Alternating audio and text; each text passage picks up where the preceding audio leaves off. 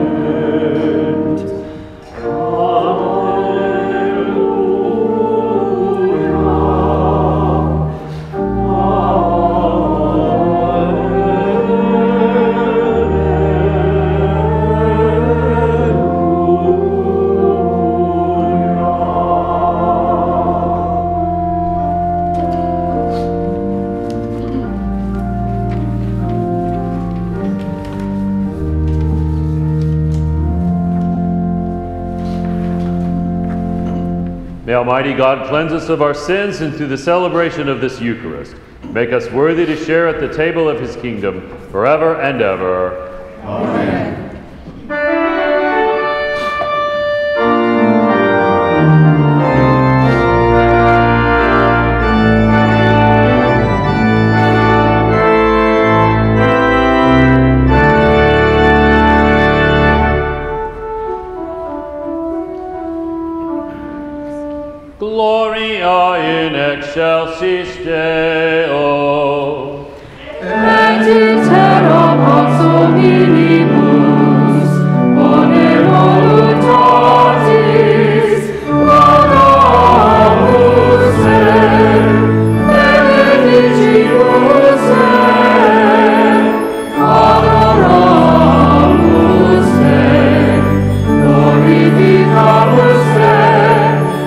Senhor.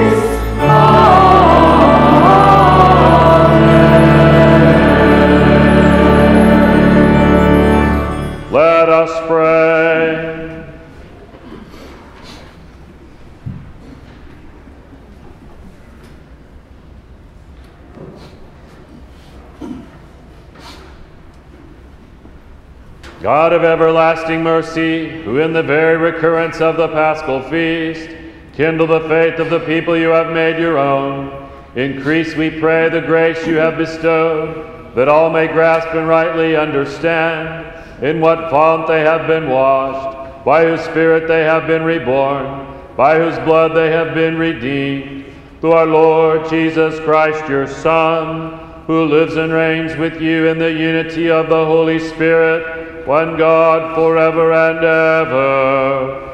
Amen.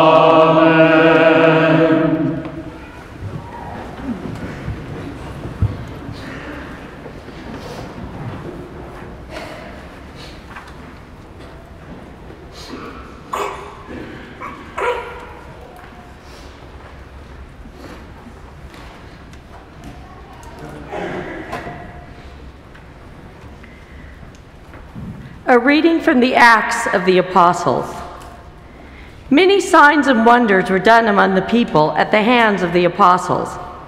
They were all together in Solomon's portico. None of the others dared to join them, but the people esteemed them. Yet more than ever, believers in the Lord, great numbers of men and women were added to them.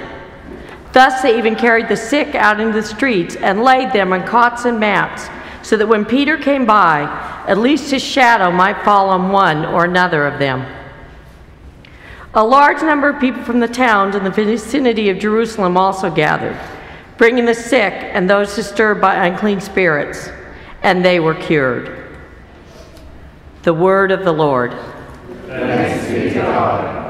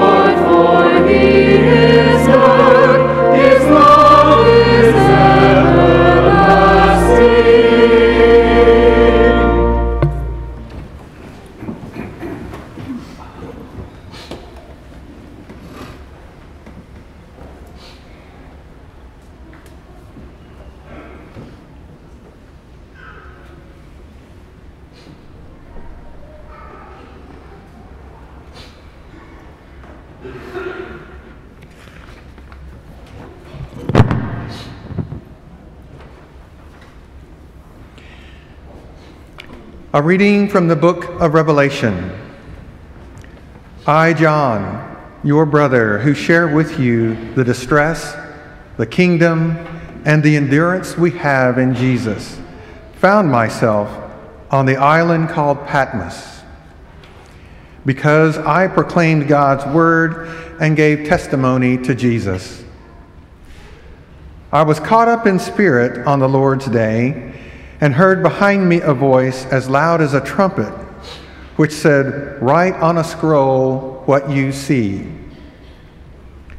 Then I turned to see whose voice it was that spoke to me. And when I turned, I saw seven gold lampstands, and in the midst of the lampstands, one like a son of man, wearing an ankle length robe with a gold sash around his chest. When I caught sight of him, I fell down at his feet as though dead. He touched me with his right hand and said, Do not be afraid. I am the first and the last, the one who lives. Once I was dead, but now I am alive forever and ever. I hold the keys to death and the netherworld. Write down, therefore, what you have seen and what is happening and what will happen afterwards. The word of the Lord. Thanks be to God.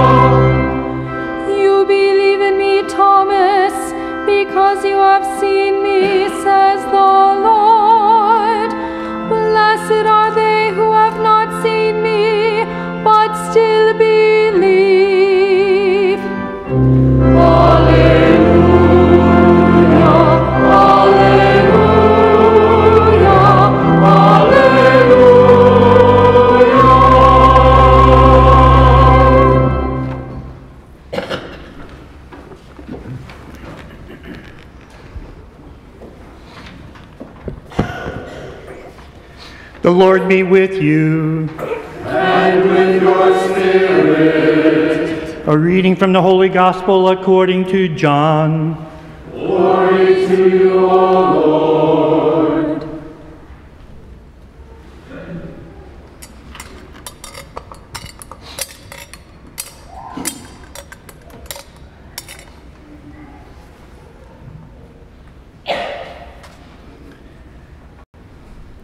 On the evening of that first day of the week, when the doors were locked, where the disciples were for fear of the Jews, Jesus came and stood in their midst and said to them, Peace be with you.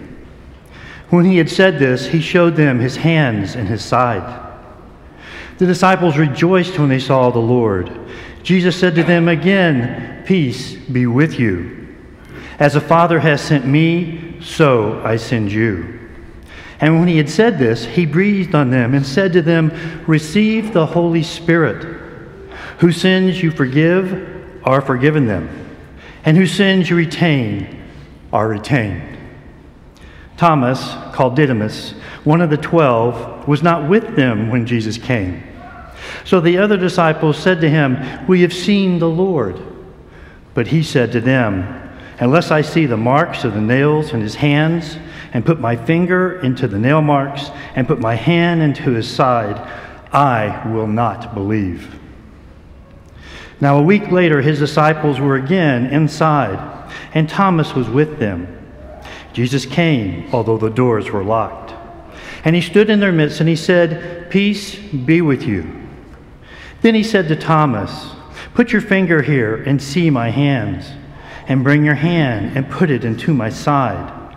But do not be unbelieving, but believe. Then Thomas answered and said to him, My Lord and my God. Jesus said to him, Have you come to believe because you have seen me? Blessed are those who have not seen and have believed. Now, Jesus did many other signs in the presence of his disciples that are not written in this book. But these are written that you may come to believe that Jesus is the Christ, the Son of God and that through this belief you may have life in his name. The gospel of the Lord. Praise to you, Lord Jesus Christ.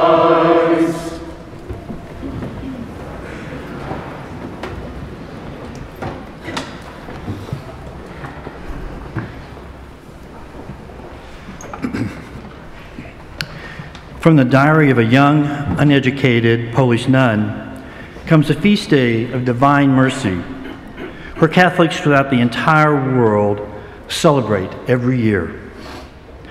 On April 30th, 2000, St. John Paul II canonized Sister Mary Faustina. From 1931 through 1938, St. Faustina had received a series of apparitions from Christ that she recorded in a 600 page diary. During her canonization ceremony, the Pope fulfilled one of the requests that Jesus had made that the second Sunday of Easter be reserved to honor and commemorate God's infinite mercy. In part, the revelations that Sister Faustina received from Jesus were nothing new. Scripture and the church have always taught that God is merciful and forgiving, and that we who have received mercy must show mercy. Blessed are the merciful, for they shall receive mercy. What was amazing about the revelation given to St. Faustina is that God's mercy is limitless and transforming. Divine mercy is like a boundless ocean that can flood the crevices of our human need, whether our need be physical, emotional, or spiritual. Divine mercy is when God loves meets and overcomes human misery, whether we suffer from poverty, oppression, sickness, or sinfulness. No sin is too shameful, no infidelity too great, no pain too severe to separate us from God and His love when we turn to Him, when we turn to Him in confidence and trust and ask for His mercy. Jesus' revelations to St. Faustina also proclaim that divine mercy is transforming. It is through experiencing God's infinite mercy that our humanity is transformed and made into a new creation. As we have received God's mercy, so must we become merciful, even as our Heavenly Father is merciful. We are transformed into the cha- channels through which God's ocean of mercy flows to all who are in need of mercy. In order, us, in order for us to become abundant channels of God's mercy, we must always remember that His mercy is limit, limitless, not because we are good, but because God is good. Today's reading from chapter 20 of St. John's Gospel is proclaimed on every Divine Mercy Sunday because it shows God's mercy in action. Despite the fact that the apostles have been told by several eyewitnesses that Jesus has risen from the dead, the scene opens with them huddled together in fear, holed up behind locked doors. The reading says that they were in fear of the Jews. Maybe they were also in fear of the risen Christ and what he might say or do. After all, they had betrayed, denied, and abandoned Jesus in his greatest hour of need. But Jesus was not about to abandon them, just as he will never abandon us, just as we must never abandon others in their time of need.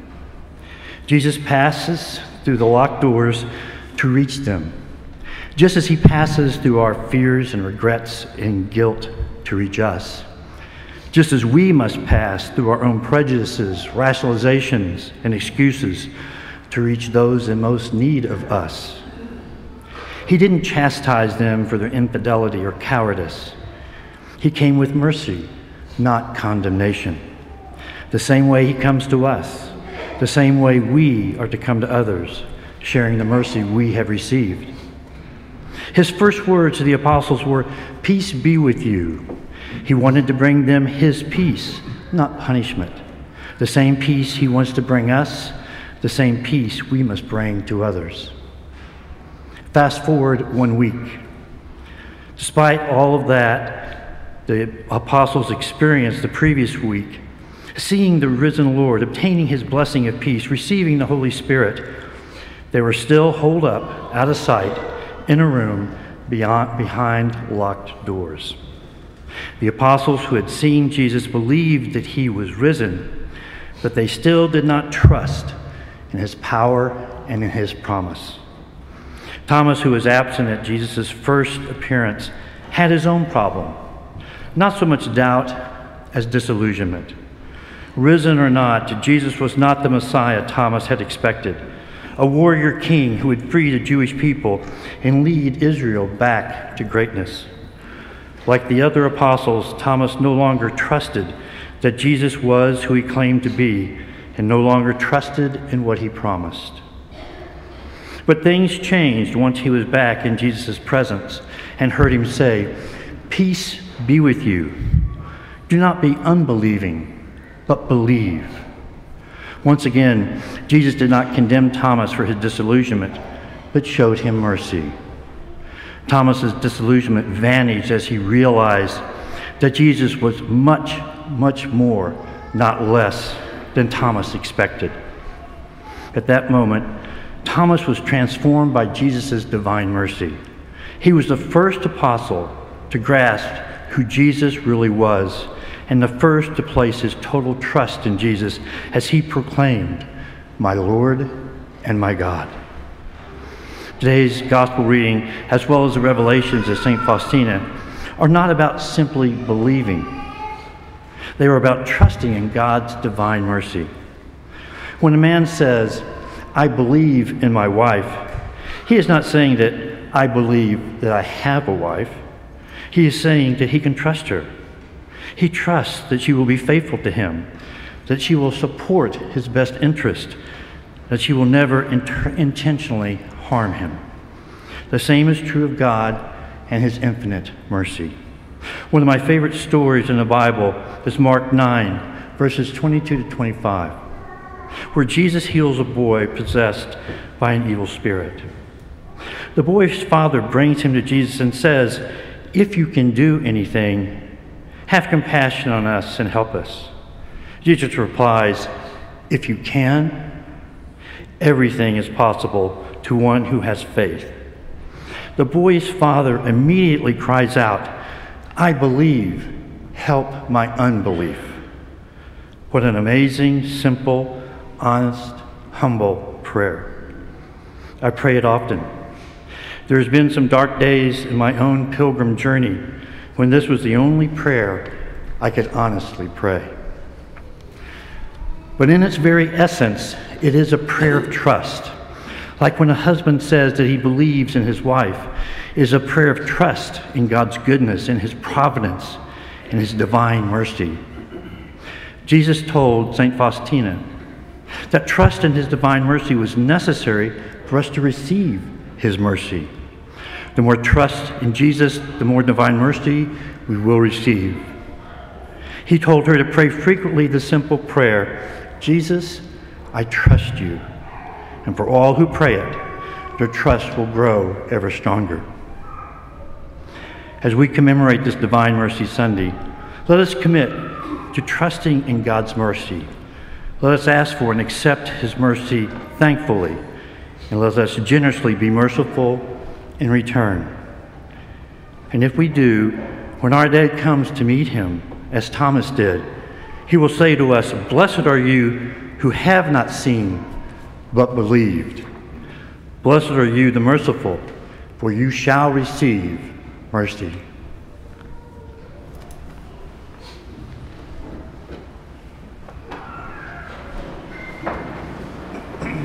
I believe in one God, the Father, the Almighty, maker of heaven and earth, of all things visible and invisible. I believe in one Lord Jesus Christ, the only begotten Son of God, born of the Father before all ages, God from God, light from light, true God from true God, begotten not made, consubstantial with the Father. Through him all things were made. For us men and for our salvation, he came down from heaven, and by the Holy Spirit was incarnate of the Virgin Mary and became man. For our sake he was crucified under Pontius Pilate. He suffered death and was buried, and rose again on the third day in accordance with the Scriptures. He ascended into heaven and is seated at the right hand of the Father. He will come again in glory to judge the living and the dead, and his kingdom will have no end. I believe in the Holy Spirit, the Lord, the giver of life, who proceeds from the Father and the Son, who with the Father and the Son is adored and glorified, who has spoken through the prophets. I believe in one holy Catholic and Apostolic Church. I confess one baptism for the forgiveness of sins and I look forward to the resurrection of the dead and the life of the world to come. Amen. And now let us bring our prayers to the Lord. For the church, that we may be transformed through our encounters with the living Christ and be instruments of healing and forgiveness in our broken world, we pray to the Lord. Lord, hear our prayer. For peace in all the troubled areas of the world, particularly in the Mideast, and for the church in Sri Lanka, that the Spirit of Christ will transform hearts and heal divisions that distance us from one another. We pray to the Lord. Lord, hear our prayer. For all the newly baptized, that they may continue to grow in the Christian life and surrender any doubts they have to Christ. We pray to the Lord. Lord, hear our prayer. For the grace to forgive, that the Spirit of God will give us the courage to forgive, guide us in being instruments of healing and signs of hope to all who are bound by sin. We pray to the Lord. Lord, hear our prayer. For all who must face death each day, that they may be strengthened by Christ, who died once but now lives forever, we pray to the Lord. Lord, hear our prayer. For all who have died, that they will rest in eternal peace of our risen Lord, we pray to the Lord. Lord, hear our prayer. In silent prayer, let us now mention our own special intentions.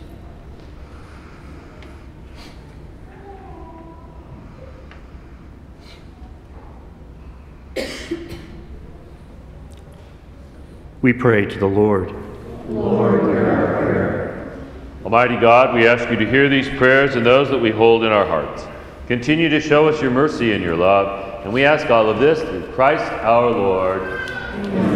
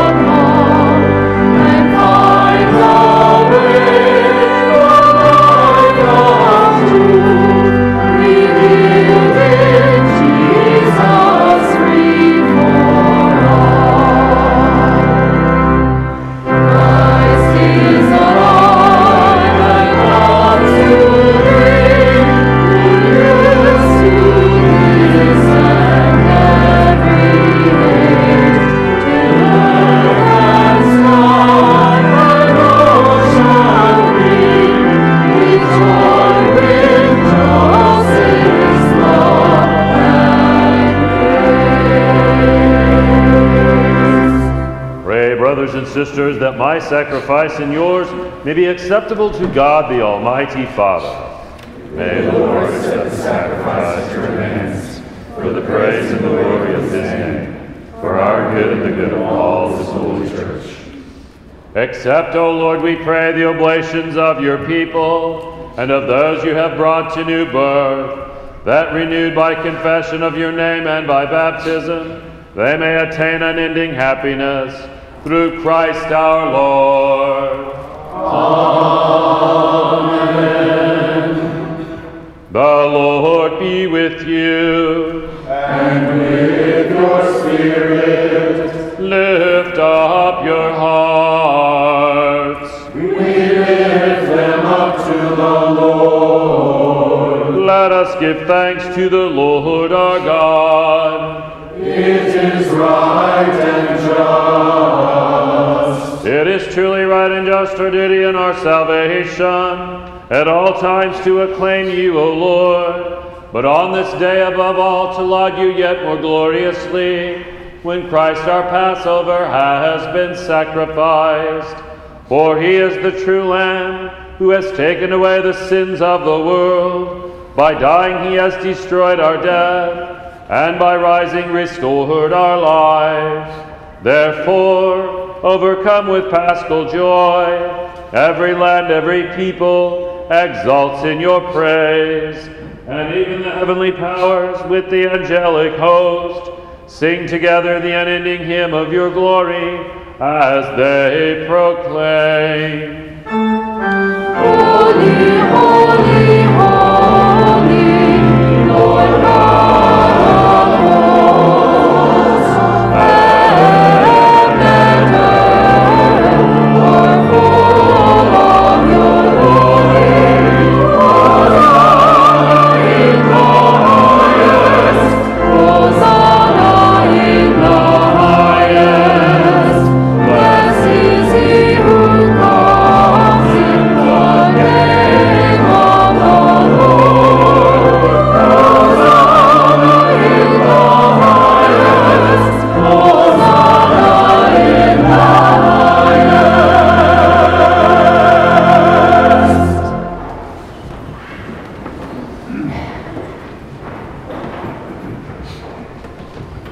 you, therefore, most merciful Father, we make humble prayer and petition through Jesus Christ, your Son, our Lord, that you accept and bless these gifts, these offerings, these holy and unblemished sacrifices, which we offer you firstly for your holy Catholic Church.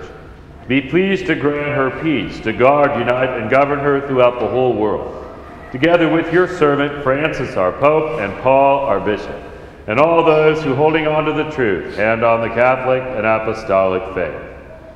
Remember, Lord, your servants, and all gathered here whose faith and devotion are known to you. For them we offer you this sacrifice of praise, or they offer it for themselves and all who are dear to them, for the redemption of their souls, in hope of health and well being, and paying their homage to you, the eternal God, living and true celebrating the most sacred day of the resurrection of our Lord Jesus Christ in the flesh, and in communion with those whose memory we venerate, especially the glorious ever Virgin Mary, Mother of our God and Lord Jesus Christ, and blessed Joseph, her spouse, your blessed apostles and martyrs, Peter and Paul, Andrew, James, John, Thomas, James, Philip, Bartholomew, Matthew, Simon, and Jude, Linus, Cletus, Clement, Sixtus, Cornelius, Cyprian, Lawrence, Chrysogonus, John and Paul, Cosmas and Damian, and all your saints. We ask that through their merits and prayers, in all things we may be defended by your protecting help.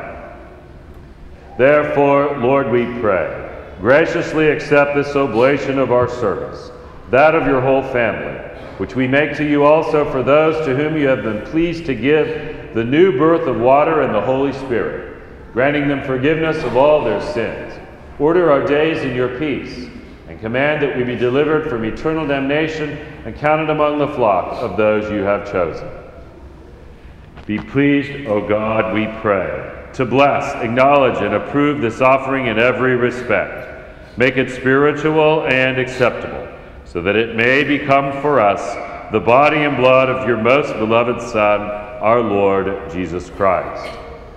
On the day before he was to suffer, he took bread in his holy and venerable hands, and with eyes raised to heaven to you, O God, his almighty Father, giving you thanks, he said the blessing, broke the bread, and gave it to his disciples, saying, Take this, all of you, and eat of it, for this is my body, which will be given up for you.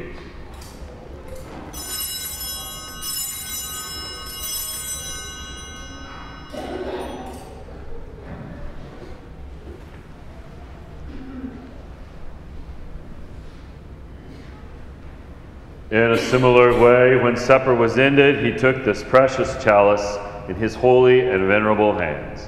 And once more giving you thanks, he said the blessing and gave the chalice to his disciples, saying, Take this, all of you, and drink from it, for this is the chalice of my blood, the blood of the new and eternal covenant, which will be poured out for you and for many for the forgiveness of sins do this in memory of me.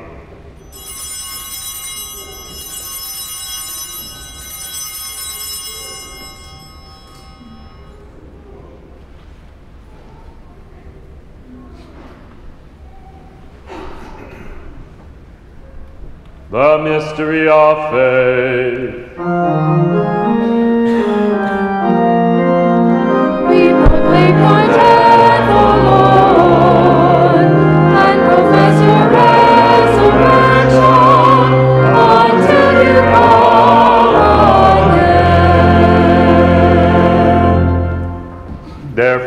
Lord, as we celebrate the memorial of the Blessed Passion, the resurrection from the dead, and the glorious ascension into heaven of Christ your Son, our Lord, we, your servants and your holy people, offer to your glorious majesty, from the gifts that you have given us, this pure victim, this holy victim, this spotless victim, the holy bread of eternal life, and the chalice of everlasting salvation.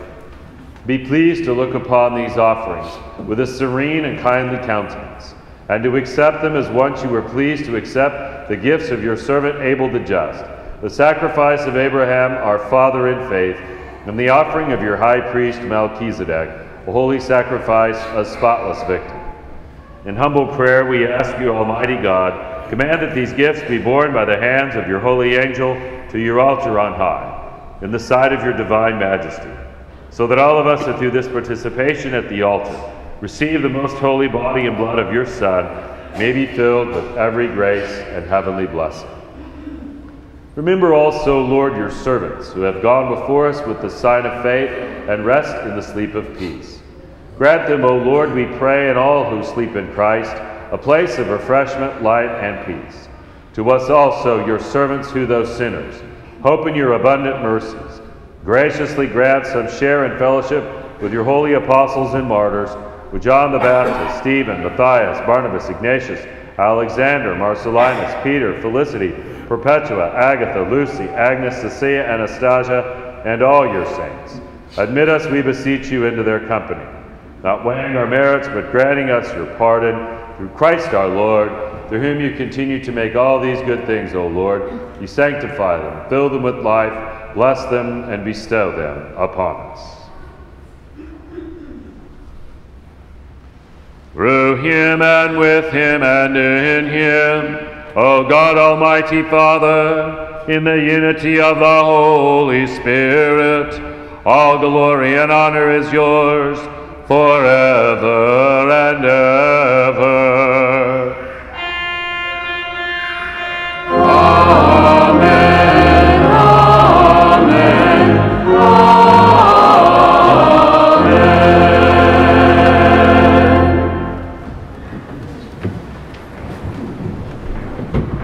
At the Savior's command, informed by divine teaching, we dare to say, Our Father, who art in heaven, hallowed be thy name. Thy kingdom come, thy will be done on earth as it is in heaven. Give us this day our daily bread, and forgive us our trespasses, as we forgive those who trespass against us. And lead us not into temptation, but deliver us from evil. Deliver us, Lord, we pray, from every evil.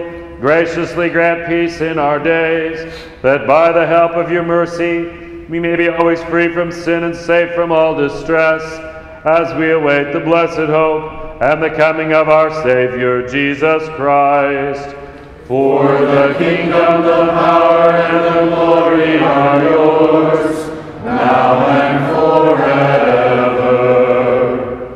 Lord Jesus Christ, who said to your apostles, Peace I leave you, my peace I give you. Look not on our sins, but on the faith of your church, and graciously grant her peace and unity in accordance with your will, who live and reign forever and ever. Amen. The peace of the Lord be with you always. And with your spirit. Let us share with one another the sign of peace.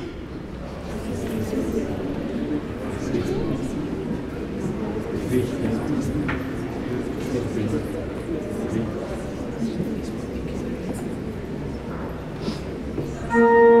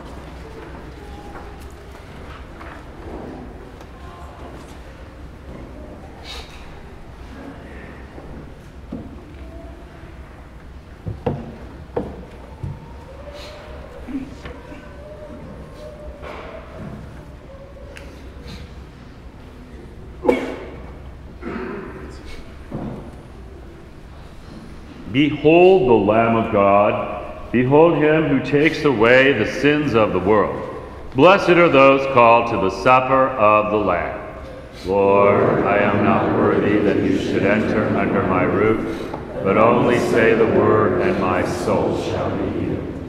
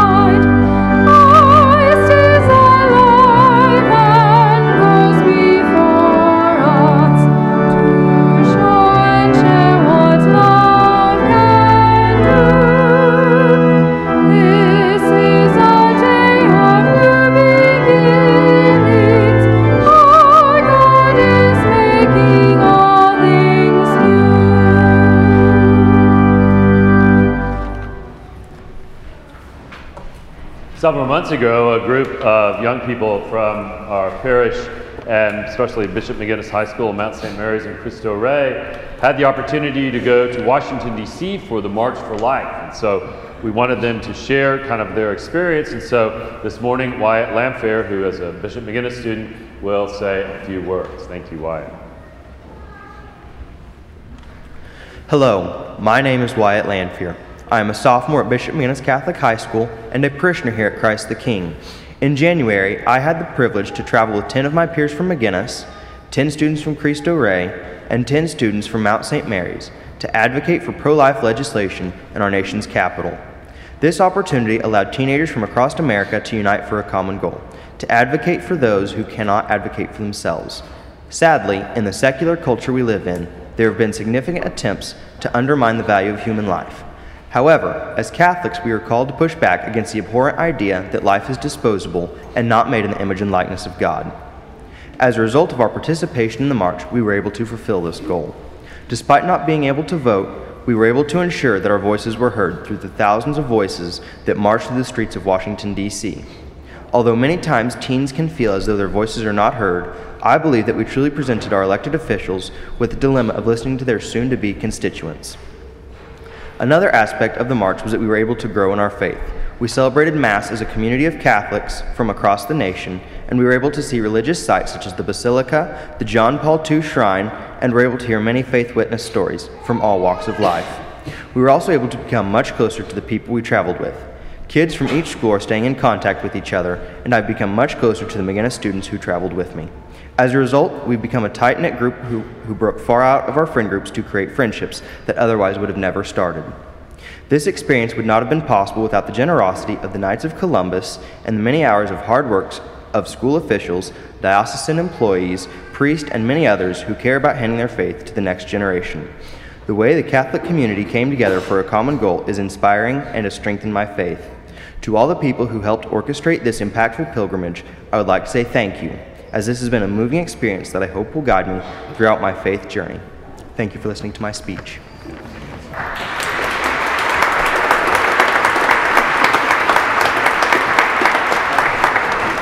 I had the opportunity to attend that one time, and it is amazing to see a million uh, young people or people of all ages uh, marching for life in Washington, D.C. Just a few other announcements. If you brought uh, donations for the Women's Sanctuary Queen for a Day, uh, please leave them in the box at the welcome desk. We will observe Divine Mercy Sunday uh, this again this afternoon with a movie about St. Faustina at 1:20 in the formal room, followed by the Divine Mercy service at 3 p.m. here in the church. And I will be available for confessions beginning around 3:30, and then the, here in church, and then there will be a brief reception afterwards. Uh, you will note that as we did for the women who went on the Acts retreat, the men are going next weekend. There is a board in the foyer where you can indicate that you will pray for an hour uh, for the men who will be going on the Acts retreat next weekend. Uh, New Life Day is this Thursday, May the 2nd. So school mass that day will be at 10 a.m. rather than 8:15 as listed in the bulletin. Also, we are still about $75,000 short of our annual Catholic appeal Christ the King has never not met our goal, so we certainly don't want to begin that now. Um, so if you haven't yet made a pledge, uh, please take one of the pledge cards from the pews and bring that back. I'm also happy to announce that uh, soon to be Father Will Banowski will be our summer associate here for the summer, uh, beginning on Tuesday, July 2nd, and he will be here through uh, the end of September. And now let us pray the prayer to St. Michael. Saint Michael, the archangel, defend us in battle. Be our defense against the wickedness and snares of the devil. May God rebuke him, we humbly pray. And do thou, O Prince of the heavenly hosts, by the power of God, thrust into hell Satan and all the evil spirits who prowl about the world seeking the ruin of souls. Blessed Stanley Rother, pray for us. Let us pray.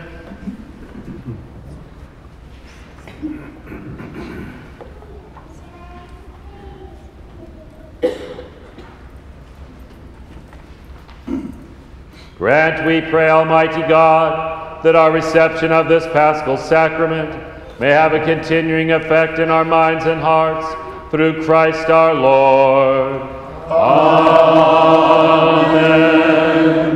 The Lord be with you. And with your spirit. And may Almighty God bless you, the Father, the Son, and the Holy Spirit. Amen. Go in peace. Alleluia.